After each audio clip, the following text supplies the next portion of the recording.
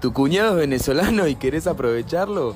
Pedile que te haga arepa, rey, más bien. Bueno, arrancamos primero sirviendo unas birras y una picadita, antes de que lleguen las guachas. Una vez que te hiciste la picada es fundamental poner orégano y pimentón en agua hirviendo, porque te olvidaste de comprar caldito. Le tiramos cuatro pechugas de pollo, lo dejás servir. Bueno, ahora sí, picamos un poquito de cebolla, como siempre. Tuki y vamos con el morrón. Yo nunca había comido arepas y la primera vez que probé me la hizo este hermoso hacer y me enamoré, corta. Acá estoy yo conociendo el cilantro por primera vez. A ver qué onda. Y sí, va, está probado. Lo pica bien chiquito también. Conseguimos tres paltas a mil pesos, loco, acá en Wilden, Mitre y las Flores. Vayan que están re zarpadas, están re buenas, potas son re ricas. Le tirás ahí al, al menjunje, limón para que no se oxide y te abrís una birra. Ahí llegó mi hermana melliza, estamos de festejo porque renunció a un trabajo de mierda que la pasaba como el orto, así que nada, amigo, en punga. Este es queso común de máquina, semiduro. La alimentás al cocinero. Cuando el pollo esté así de tierno que se te cae, ese es el punto ideal. Lo saca todo, todas las presitas. Tuki, parte clave de la receta, playar ratatouille con el terry. Bueno, ahí llegó la segunda guacha, esta la que me manda el psicólogo a mí, con un flequillo y con una birra, boludo. ¿Qué más querés, amigo? Este destapador me lo trajeron de afuera, boludo. Clave para la receta que las guachas se tiren sus pasos, si no, no te sale igual.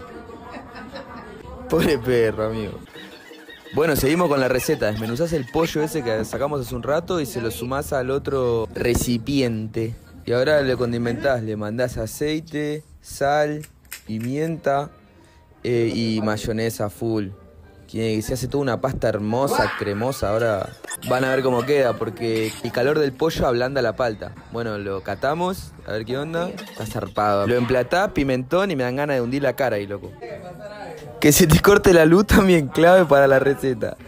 Te tiras un par de pasos, haces el papu todo. A nosotros nos da una red sed, boludo, cuando se corta la luz. Y aparte había que festejar un toque que volvió. Ahora vamos con la parte clave para mí. Harina morixe para arepa. Y le tirás ahí dos tazas, agüita. Y antes que salte algún venezolano a criticar, loco, el chef tiene algo para decirles. Y sí, loco, la harina primero y después del agua, porque si la hidratás bien no pasa nada. Así como en Argentina nos peleamos por el punto de la carne, se ve que en Venezuela se pelean por quién pone primero la harina y después el agua, o primero el agua y después la harina, no sé, yo no me voy a meter. Pero yo confío, no conozco a nadie más venezolano que este tipo. Obviamente como buen argentino supervisando una actividad que no hice en mi vida, pero bueno, dando el visto bueno.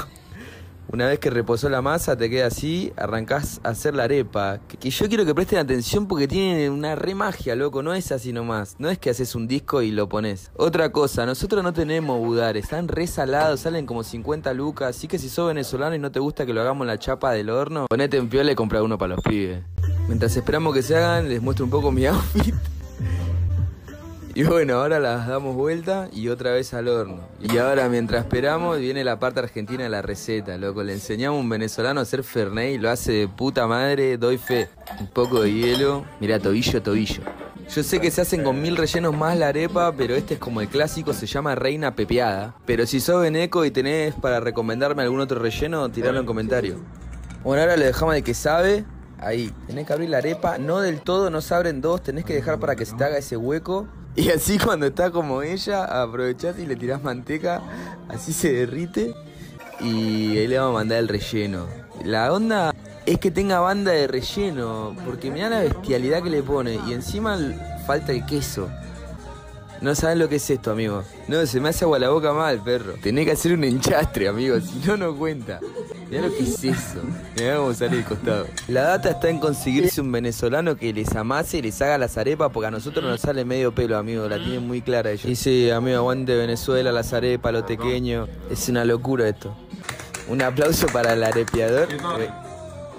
Brindamos y ustedes se pensaban que esto terminaba acá. No. Aparte de la birra, la morocha se trajo un par de chocolate, amigo. Y teníamos ahí manteca de maní, dulce de leche, nada que ver. Bueno, les mando un besito, cuídense.